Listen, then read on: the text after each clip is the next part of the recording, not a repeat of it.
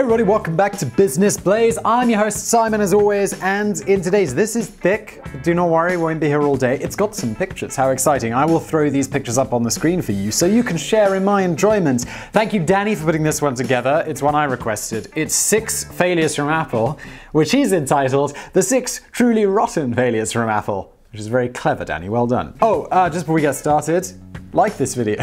I'm just kidding, you don't have to like it before you've actually seen it. If you've got suggestions though, use the comments and while you're down there, you, you may as well like it. In late 2018, Apple Inc., better known as Apple, but Inc. as well, entered the history books yet again, becoming the first ever publicly traded company in the US to be worth a staggering $1 trillion. Over the past four decades, the modest computer business founded by Steve Jobs and Steve Wozniak in 1976 has evolved into one of the most globally successful and innovative companies of all time. Well, I feel like they were innovative. for a while. I don't really feel like the latest iPad's a great innovation. Was the watch? Really? The innovation died with Steve. Uh, just consider all the game-changing- oh no, Danny's gonna contradict me. Just consider all the game-changing products Apple and services that Apple has brought you over the years. Uh, think the iPhone, the iPod, the iPad, iTunes. iTunes sucks, but all these things are old. iTunes really sucks. I didn't get into Apple for the longest time because the one piece of Apple software I had on the PC, the iTunes, was a hilarious piece of shit. Pretty much anything good beginning with a small i. Think the Apple II, the Macintosh, the App MacBook, the Apple Watch, Apple TV. It's difficult to think of any other company which has had such a revolutionary genius at its very core and rolled out so many leading edge products over such a long period of time. I do agree. A lot of this stuff is pretty amazing. But here's something to chew over the next time you're having a bad day. Even the mighty planet-conquering Apple have regularly experienced their bad days, wrong turns, and jaw-dropping disasters over the last 40 years. 40 years, Jesus. Yeah, 1976. Steve Jobs himself once proudly declared that you've got to be willing to crash and burn if you're afraid of failing, you won't get very far. So, in chronological order, let's sink our teeth into some of Apple's most memorable flops, failures, and quite literal meltdowns. The Apple III from 1980. Look at that thing sexy. The original Apple computer was launched in 1976 and entirely built by hand by Steve Wozniak. The base kit concept didn't even include a monitor or keyboard, and nowadays wouldn't even be classed, classed as a complete personal computer. It attracted the attention of about seven people, all of whom were weird. However, fast forward just one year and the Apple II was the product that, the fir that first put the company squarely on the map, becoming the first home computer to shift over 5 million units. But fast forward more years to 1980, and the doomed Apple III came close to sending the company back into oblivion forever. Wow, that's really incredible. Like one, rub no, no success. Two, absolute boom. Three, let's see. The Apple III was mainly intended for business use, featuring a large screen display and extended keyboard functions. It cost about $8,000 to get your hands on one of these clunky beasts, so it certainly wasn't a machine of choice if you just wanted to play Space Invaders with the kids. Yeah, no like $8,000 today is outrageously expensive, and this is like 1970s dollars. It's gotta be like triple the price at least. Steve Jobs had a vision of a quiet computer, which would be built in an aluminium case to help th keep things cool without the need for the usual noisy fans and vents. Well, that was the theory. In reality, the computer overheated very quickly, the chips melted out of their sockets, and even the floppy disks suffered from heat damage. Well, that's not good. There were tons of other problems too. I feel only recently I, I got this, uh, the, the Mac MacBook, whatever it is, last year, the year before, whenever they released that new version. And this was the first time that I've really had a computer I don't think I've ever heard the fan on that thing kick on. One particular issue was chips randomly falling out of their sockets, and that was solved by Apple with perhaps one of the most ludicrous official fixes ever released to the public. Apple's high-tech recommendation was for users to simply lift their computer about 3 inches in the air and then drop it on the desk so the chips would hopefully slot back into the right place. Is that really a solution? I feel like with hard disks, especially like in the 1970s, that's not going to be a good time. Like you can just imagine, you know, that, that terrifying sound of like you drop it and then it's like, weak, weak, weak. I don't know if you guys have ever had a hard disk fail on you, but uh, that's a terrifying sound that you don't want. One day, this channel will be sponsored by Backblaze, and it's at this point that I would transition into a sponsor read, which I'm not going to do. You can imagine how tempting it must have been for a frustrated business owner just to lob it out of the window instead. Yeah, I can imagine if they said to me, yeah, you just need to drop it, I'd be like, good. Oh, nice work. that moment of regret where like, I think I've broken at least two mice where I'm like, oh, come on. And it's like, oh, now I have to go to the store and buy a new mouse because they need it now.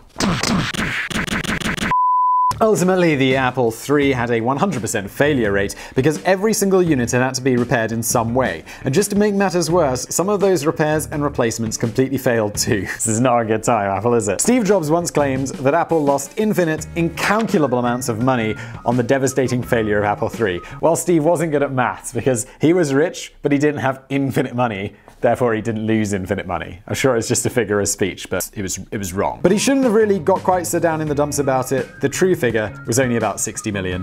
Next one up, the Apple Newton from 1993. Look at that sexy beast. That's like the. Do, do you guys remember Palm Pilots? I, I used to always get my dad's old stuff. So I had like a Palm Pilot, I had a Psion, you know, P S I O N, the three something. Like my dad would always have these things and then he'd pass them on to me and I'd be very excited about having like the generation of technology from five years ago. And I'm thinking, like, as a kid, I'm going to organize my school schedule on this. I'm so businesslike. Nearly 20 years before the iPad took the world by storm, there was the Apple Newton. Back in 1993, even before the standard laptop had yet to surface and mobile phones were still the size of a brick, Apple's concept of a pocket-sized personal digital assistant was intended to kick off the digital revolution in handheld tech. I've never heard of this thing. I'm gonna guess it, and, and seeing as this is like a video about rotten failures, I'm gonna guess it didn't kick off that revolution. The idea was sound enough. I mean, it was. It looks like something that came along later, or came along at the same time. It just wasn't by Apple. The Newton could not only send emails, store notes, and manage calendars, this futuristic device also included a handwriting feature So the user could quickly scribble down notes on the screen using a stylus, and then Newton would translate your handwriting into digital text. I have to say, this is a bit of a tangent, but I'm quite upset with Apple right now. I recently upgraded to the uh, the new the new iPad, this thing, whatever this guy is, um, the iPad Pro, and I had the previous one, which in fact broke, and they gave me a new one on, or they gave me my money back on warranty, so I upgraded to the new one, and I had the stylus with the old one. It doesn't work with the new iPad. So I've got to buy like another hundred pound stylus. It's ridiculous. The Newton would translate your handwriting into digital text. I remember this. Like you'd have to draw in a little box at the bottom, like A, and then it would put an A up on screen. B, put a B up on screen. I wasn't really sure what this was useful for, I'd just rather tap at the keyboard. Apple's bold marketing claim at the time was that the Newton could take notes as easily as a piece of paper. The problem? It was it says rubbish, but I wanted to add emphasis with a swear word, and I'll bleep it out so I can store any money off this video. You would have been better off saving wads of cash for just using a piece of paper. The handwriting recognition just didn't work, and often resulted in a mess of completely indecipherable gibberish. Yeah, even now, like when I was using the pencil, the Apple Pencil on my old iPad, it's like I never used the translate to text feature, because even then it kind of sucks, and I can read my own handwriting, so I'm fine. It quickly became a laughing stock and was stock and was ripped to shred on high-profile platforms such as Saturday Night Live. Wow, it must have been bad. You know, I kind of expect it was ripped to pieces by the reviewers in PC World or Apple World. And it's like, nah, this was bad enough that Saturday Night Live took it to pieces. Uh, also, the Doonesbury comic strip, never heard of that. And The Simpsons, never. No, I've heard of The Simpsons. The piss take on The Simpsons hit Apple particularly hard. The episode features the school bully Dolph. Is this school bully's name Dolph? Wasn't it Nelson? Oh no, Dolph's the tall guy, right? With the that looks like a convict. I'm sure that's not a politically correct way of describing how this guy looks, but he looks like a prisoner. Uh, Dolph trying to use the Newton to screw himself a reminder to beat up the teacher's pet, Martin. How innovative! I like it! When beat up Martin gets transla translated to eat up Martha. Hey Dolph, take a memo on your Newton. Beat up Martin. A frustrated Dolph decides to simply throw the Newton at Martin's head instead.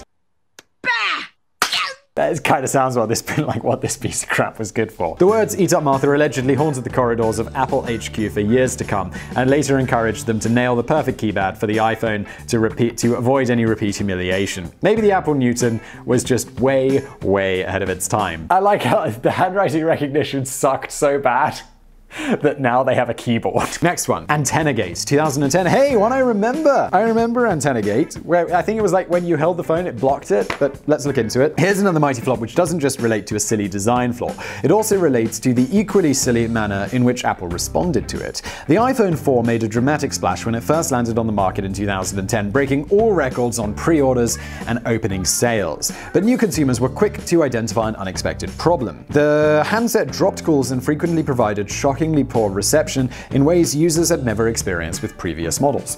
Uh, yeah, I, I think I always buy my iPhones like a year later because I don't want to spend like a grand on a phone because it's absolutely absurd. Uh, so I think this had been solved by the time I actually got my hands on an iPhone 4, but I remember people complaining about this. It turns out that the reason was simple enough, and it had all to do with the flawed design of the human body. Yeah, yeah, it was the human body that was at fault here. In their infinite wisdom, Apple had wrapped the antennas of the headset around the top, sides, and bottom of the phone. That was fine, but it meant that the reception often became blocked when somebody tried to phone with their pesky human hands and fingers. Ah, sarcasm, Danny, I see. Apple's response to the problem was disappointing to say the least. Instead of holding up their own defective human hands and admitting they've made a mistake, this is very nice, they simply tried to claim that users were holding the phone wrong. Look, Apple, I'll hold the phone as I damn well please. I'll hold it, I could, I, I just hold it in my pinky fingers like this, and you know, I expect it to work. In fact, you're just holding it wrong was the media headline that ricocheted around the world's press and prompted the mockery of Apple's PR department. Yeah, because it's horrible. Fortunately, Steve Jobs did eventually concede the design flaw on the iPhone 4, and the media dubbed Antennagate finally came to an end with the distribution of millions of free cases and bumpers from Apple, which solved the problem. Which is fine, but I don't like cases. Like, I use a case on my phone only because I, uh, I've got a problem with breaking the screens, and these little bumper cases actually do a great job. That's why. But I don't want to have to use a case, like if I don't want to. Like, I didn't use cases for the longest time because I think it ruins the aesthetic of the phone. Then just replacing screens became too expensive. But it's perhaps another more recent example of Apple's tendency to think of style first and the ability to be used by members of the human race second. I uh, just this this entry ends here, but I remember it being that the design flaw got by because when they were testing the phone in public, they had these cases which disguised the phone. So you know, because the Apple 4 looks Apple iPhone 4 looked really different to the 3, so they would have like their test users use it in like a bulky case, and then that case was allowing it to work fine. And then as soon as it was, you know, not being a secret thing and people were actually holding it, it went wrong. Not sure if that's correct. It wasn't in the script, but I think that was why it went wrong. Anyway, moving on. Apple Maps. Another one I remember. 2012. right.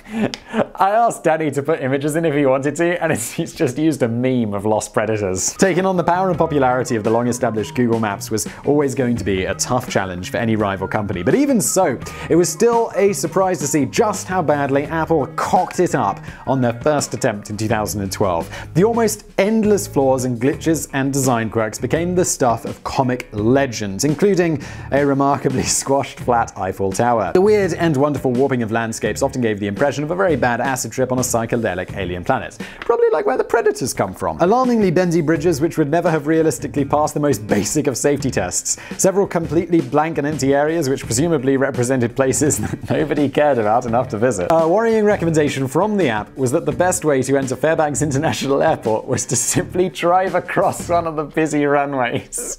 Apple made a fair few corrections to the app after onboarding, absorbing initial customer. In fact, they had to make no less than 2.5 million changes in total.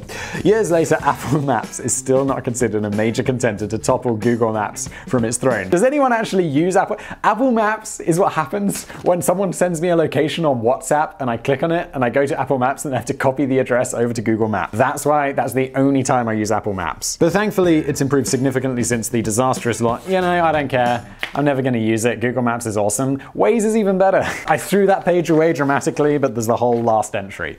I just use Waze and Google Maps. I don't really feel like just Apple just give up. It's okay. You know, focus on that new credit card that no one likes. The U2 album that not everybody wanted, 2014. I like the fact that it's not all super old ones that I don't remember. I remember this one. I hated this. On my last iPhone, I went on a road trip with my friend and we rented a car and it had one of those, um, you know, USB things that you plug into your phone and then it'll automatically start playing whatever's on your iPhone. And I have Spotify and then I have the one U2 album on, uh, U2, the one U2 album on my phone that they just automatically loaded onto it. So every time, every time we got into the car, we'd plug in the phone and it was like da da da da da da da da da da da da da or however the like first U2 song from the album goes. And we we got so angry. Because every time then you'd have to go and choose something you actually wanted to listen to on Spotify, but every time. So bad. Oh, it was meant to be the most generous giveaway in music history. It's not generous if no one wants it, Steve. 2014, was Steve still alive? Uh, but it ended up being viewed as the most unwelcome spamming campaign in marketing history. The brand new album from U2, Songs of Innocence, was released in 2014, but it certainly didn't get distributed via the traditional channels. In a move that took the market and the world by surprise, was given away completely free to 500 million users of iTunes. That's, I guess, everyone who uses iTunes. It automatically downloaded itself to iPhones and devices around the globe. It certainly seemed a bit of a U-turn for U2. Just a few years earlier, the band's manager, Paul McGuinness, had been publicly complaining about the concept of free downloads. Back then, he said, We are living in an era when free is decimating the music industry and is starting to do the same to film, TV, and books. What has gone so wrong? Wow, Paul, you were wrong. Who paid to watch this video? Nobody! Who's getting paid for you watching this video? Simon! This was something very different and new, though. At the time, some people may have questioned the logic of giving away the new hotly anticipated album for one of the world's biggest rock bands for free and losing out on more than a million full price sales. But U2 were considering the bigger picture. It was estimated that the move would generate around $100 million in high profile marketing, promote the next world tour, and generate millions of new sales from U2 back catalogue. I forgive them, not that they need my forgiveness, but I forgive them because this does seem smart. And I don't think you could really predict the horrific backlash and just the, the complete here. It didn't quite work out as planned. No. Uh, the problem is that not everyone likes U2. I like U2. I mean, I liked All That You Can't Leave Behind, and I liked The Joshua Tree. I didn't really like anything else, like older or newer. And I know people don't like All You Can't Leave Behind, but I think that's one of the finest albums ever made. Judge me now. Use the comments. Also, another album you can judge me on. I think, uh, what's it called? Echo Park from Feeder is a fine album. People don't like it and I think it's amazing. He's got a brand new car. Looks like a Jag. You are solid rhyming there, Feeder. In fact, it turns out that some people can't stand U2. U2 may well pull in millions of adoring fans, but they also seem to inspire hatred from a section of the population who just find Bono to be the most annoying and arrogant man to ever walk the earth. I don't think Bono comes across as arrogant. I listened to an interview with him the other day. I mean, he wants to change the world. He seems like a genuinely good guy. He's got annoying sunglasses, but doesn't he have some problem with his eyes? if he doesn't have problem with his eyes, those sunglasses are a bit weird. But I think he has problems with his eyes. Let me know in the comments. Bono's eyes. Millions of iTunes users felt deeply aggrieved that this U2 album had popped up in their personal and private music library without any warning or consent. And to make matters worse, nobody could get rid of the damn thing. Yes, we. I desperately tried. It kept coming back. It was just there, like an embarrassing Wombles record your from your childhood that's superglued to the top of your turntable. You Americans know the Wombles? I feel like that's a British thing, like the Wombles of Wimbledon. Is that the Wombles? Or is that a completely different thing? I don't know. Bono was quick to apologize for the mistake, explaining the reasoning behind the move had involved megalomania, a touch of generosity, a dash of self promotion, and a deep fear that these songs we poured our life into over the last few years might not be heard. Incidentally, only 6,700 sales from U2's back catalogue were generated. 500 million free albums, 6,700 pay sales. That's slightly embarrassing. Apple were also compelled to release a tool that got rid of the album. There was a tool tool that got rid of this album? Where was this? Along with a dedicated website which gave step-by-step instructions on how to delete the U2 album from your devices and your life. I wish I'd found that. You see, you can't help but feeling a little sympathy for Apple over this one, as they got their fingers burned by simply trying to give away something of potential value for free. But to some customers, it felt more like Apple were lobbing a Bono-shaped brick through their window. It did. Okay, there are bonus cock. I didn't even ask for bonus cock-ups. Thanks, Danny. This one's already super long. Bonus cock-ups. Number one, who doesn't like a big juicy price cut? Early purchases of the very first iPhone didn't. Oh. Just two months after the original iPhone was released in 2007, Apple knocked a hefty $200 off the price tag. This not only smacked of panic and desperation, but it annoyed the loyal customers who paid full whack just weeks earlier. Apple eventually offered $100 in credit to anyone who had paid the full price, but stayed well clear of discounts in the future. That feels like a bit of a slap in the face. I'm a super loyal customer. Yeah, we're gonna we're gonna price it up for you. I mean, the economics make sense. I suppose the whole thing makes sense because people still absolutely rage love for Apple. Uh, number two, like, but like I say, I will never buy anything from the new. I always buy my phone second hand a year later because I'm cheap. Number two, we've all accidentally left our wallets or our car keys or our dignity in the bar. I have done all of those things many times. But it proved to be particularly problematic for Apple engineer Gray Powell when he left his phone at a bar in 2010. The phone was actually a prototype of the forthcoming iPhone 4, probably the one with that case on it that made it actually work. And it ended up getting sneakily sold to the tech site Gizmodo, who expo exposed all the details of the new handset weeks before Apple officially unveiled it. Number 3. There's an app for that was a popular marketing slogan used by Apple back in 2009 to promote the fact that you could find an app for pretty much anything on their new range of iPhones. But if Steve Jobs had got his way in the beginning, there would barely be an app for anything. He initially announced that third-party developers would not be able to create apps for the locked down for locked for the lockdown devices, as he was concerned about inferior software flooding the App Store. Fortunately, he was persuaded to change his mind, and the rest is history. An App Store full of inferior products. When the Apple Store first opened in 2008, only 500 apps were available. Today, thanks to the involvement of third-party developers, the store features 2.2 million apps. That's a lot of apps. Number 4. Finally, here is a memorable controversy that in truth seemed to be massively overinflated and that's Bendygate. Oh yeah, I remember this. People were bending their iPhones. I never found this to be a problem. Uh, following the release of the iPhone 6 Plus, some customers complained that the latest handset was far too flimsy and bent out of shape very quickly. Pictures and videos started popping up all over social media showing very noticeable bends in the middle of the ultra-thin phone. However, the truth of the matter was that the devices have been thoroughly tested without problem, and only nine people ever complained, most of whom had accidentally sat on their new phones. Yeah, I feel like if you sat on the phone, and it just didn't outright break, you know, that's a lucky break. If it's just a little bit bent, just deal with it. Still, it's worth noting that all later versions of the phones were produced from much tougher aluminium, or aluminum, as you Americans would say, so there was something, maybe there was something in it after all. Yeah, maybe. Nine people, nine people complained. Who cares? It's never a big problem. This has been Business Blaze. This was a long one. That was a beast of a script. Thank you, Danny, for putting it together. If you've got a suggestion for a future Business Blaze video that you would like me to tackle, post it in the comments below, upvote the ones you like. Also, like this video, subscribe to this channel, it's new, hit the bell, all of that good stuff. And I'll see you next time.